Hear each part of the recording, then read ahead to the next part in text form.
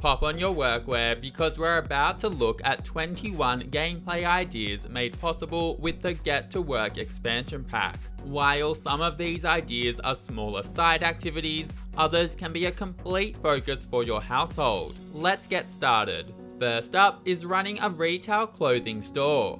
Get to Work brings with it retail businesses, and your sim will be able to use their phone or the business panel to purchase a retail store. Once owned, you can use the mannequin objects to sell clothing. Note that Sims can only buy clothing options of their same sex and life state, and so it can help to sell a variety of clothing options to cater to different customers. Note that Sims who buy clothes you sell will actually add them to their outfit options, and so they can actually start wearing them around town, which is great because we all know that townies really can't dress themselves. I will flag that it can help to sell a few things that are not clothes, just in case you have a customer that finds themselves with all relevant clothes out of stock. Of course, a clothing store does cover all types of clothes, but you can easily specialize further, creating a high fashion clothing store, an active wear shop, or you could even sell formal clothes. Note that if you're interested, then I'll have a more detailed guide on running a clothing store in the description. Moving on to number 2, which is to play as a doctor. Get to Work brings with it the Doctor active career, and you can see your Sims living their best, slightly stressed lives, talking to, diagnosing, and treating patients. It's a fun career, allowing you to perform surgeries and deliver babies, but it can be a little frustrating as it takes a hot minute to get your head around which symptoms correlate to which diseases. Sims who reach level 6 of the doctor career will unlock the determined baby gender interaction, which can be used on a pregnant sim to let you know if they're having a boy or a girl. Also, at level 8 of the Doctor career, Sims will unlock the Sickness Resistance trait, which will let your Sim bounce back from sickness faster. Number 3 is a quick one, being to have a hospital birth. We've simply had enough of giving birth in the living room, I know it can be quite the show. Get to Work allows you to deliver a baby at the hospital. To do this, when a Sim is in labour, simply click on them and select to have the baby at the hospital. This comes with perks as well, as babies born at the hospital will receive a birth certificate. Now it's time to create a photography studio. This can be brought to life with the InFlash Photo Studio object and it will allow you to take lots of cute pictures that can be displayed or sold. I will flag that while photography used to come with the Get to Work expansion pack, it, along with a couple of the cameras, are now all base game.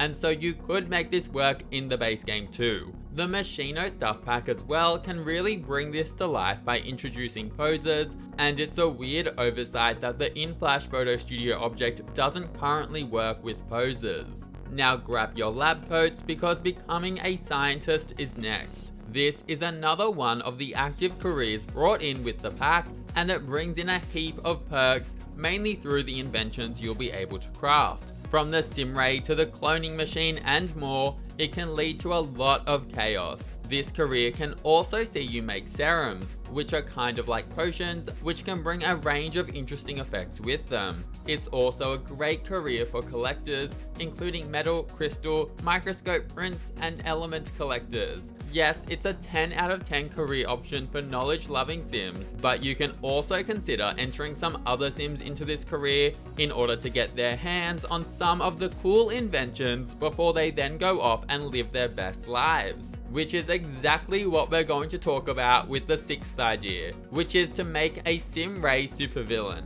You can make the Simray on the invention constructor, which can be done at level 2 of the scientist career, and this can be used to freeze other sims, making it the perfect object for a villain to use to cause chaos. That's not all. At level 4 through 9 of the scientist career, you'll unlock a range of mind control options that you can upgrade your Simray with. With these upgrades, you can use the Simray to change the target sim's clothes, as well as make them clean, sit, eat, sleep, and even panic, giving this object to a sim who has the kleptomaniac trait, which allows them to literally steal objects from other lots, as well as potentially the evil trait, is a really awesome way to bring a supervillain to life. We're moving on, but we're not quite done with the Simray just yet. The next idea is to get rich quick with the Simray. At level 3 in the scientist career, you can upgrade the Simray to transform objects, which can be used to turn an object into a different one at random. Note that usually the transformed object is somewhat related to the first. By using this feature on cheap showers, you'll turn them into often more expensive showers, as well as fridges and other objects, which can then be sold for a tidy profit, which we do love. While it does feel a bit like cheating, it technically isn't. Just make sure that your fire alarm is working because there is a chance that you'll set everything you love ablaze. Number 8 is a quick one, being to experiment with serums. There are 15 serums in total, which can be unlocked by playing through the scientist's career, and each serum has a regular and tainted version, which provides different effects. Notably, serums can be used to make your sim lose a heap of weight and slim down, or alternatively gain loads of weight in seconds. They can also make your sim super buff with just a quick sip, meaning that you can ditch the gym forever. I know, if only such a thing existed in real life. There's even a serum that will temporarily turn a sim into a ghost. Serums are quite a bit of fun to play around with, and I'll have a link to a more detailed guide on serums and their effects in the description. Cloning yourself is next. At level 5 in the scientist career, you can invent the cloning machine which will allow you to clone a range of small objects such as collectibles. But the real chaos begins at level 9 in the scientist career, whereby the cloning machine can be upgraded to allow you to clone sims. It's perfect for recreating that long lost identical twin or just for making things really, really weird. For number 10, we're creating delicious baked goods and running a bakery. This ties in very well with both the retail businesses and the all new baking skill that comes with the pack. For this, you'll want to make baked goods using either your usual kitchen or the Whipped Dream Cupcake Factory, and then store them in the refrigerated display or on the baker's cousin display case which will mean that your goods don't go off for a very long time. Once you've done this and you have your own store, then you can set them for sale. Some quick hot tips is that it's worth saving up for the marketable trait which can see your baked goods be worth a lot more when you make them, thus driving up their markup prices and allowing you to make a lot more profit selling them. Also, if you complete the Master Chef aspiration, then your Sims will be awarded with the Fresh Chef trait, meaning that food they make will never go off, and this can be hugely helpful in running this type of business too. If you're interested in running a bakery, then note that I'll have a link to a more detailed guide in the description. We're moving on to becoming a detective. This is the third playable career brought in with the pack,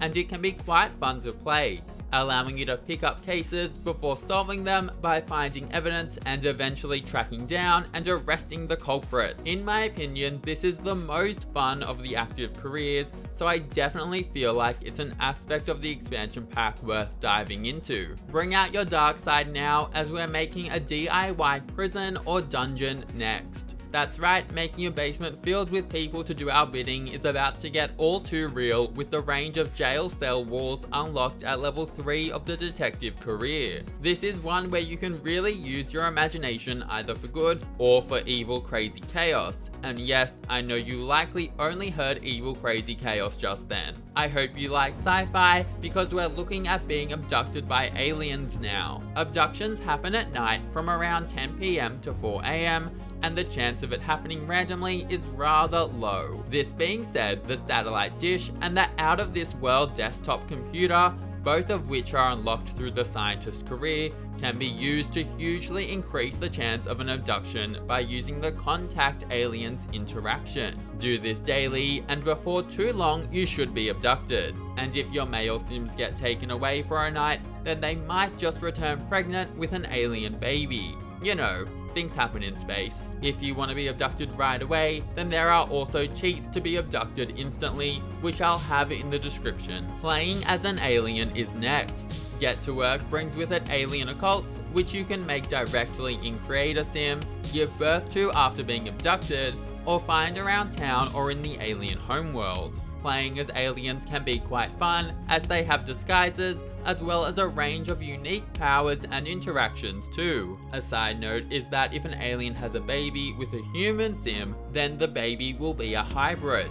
While they'll be mostly human gameplay wise, they'll gain alien coloured skin. For number 15, we're visiting the alien homeworlds of Sixam, and there are two ways to do this. The first is to enter the scientist's career, build the Electroflux wormhole generator, and then at level 10 of the career, upgrade it, which will allow you to travel through it to Sixam. The second way is to buy and build a rocket ship, train your rocket science skill to level 10, and install the wormhole generator upgrade, which will allow you to travel to the alien homeworld. I will flag that in my opinion, the rocket ship method is a lot easier. Sixam is filled with collectibles to grab and aliens to meet, and it's a really unique environment to hang out in or even take a few photos or paint a few pictures from reference of the environment. Next, we're collecting geodes. Unpolished geodes can be easily found in Sixam, and then they can be polished to give one of the 6 geodes from the collection.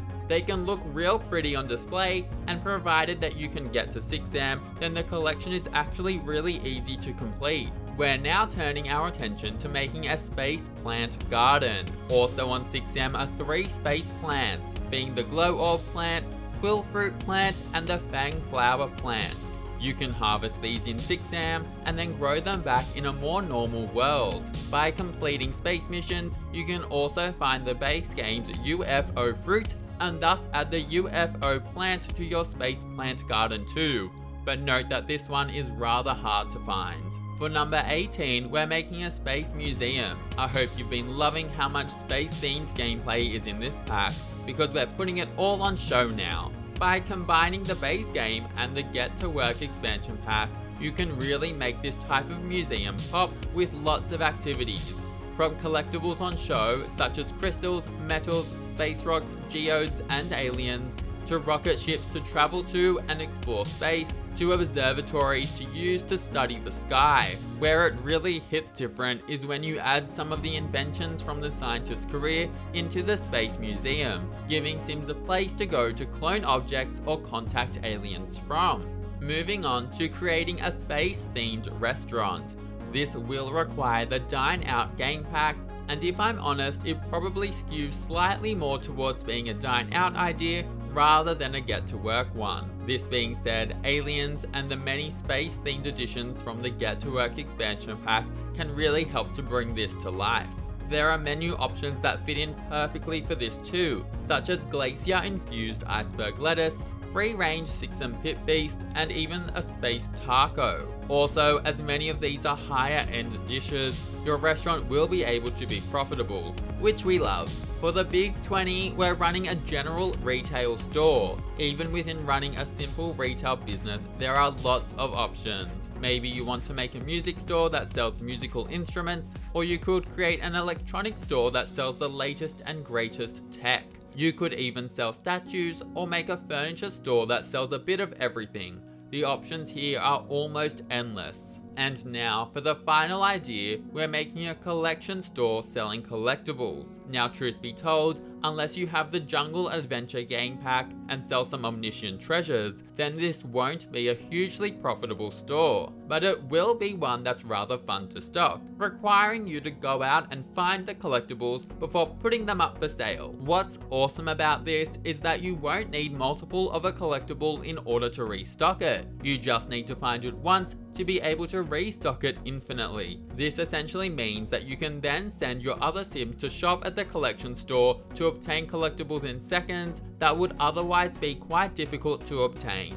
It makes for a really awesome store to just generally have in your game. And with that, we're at the end.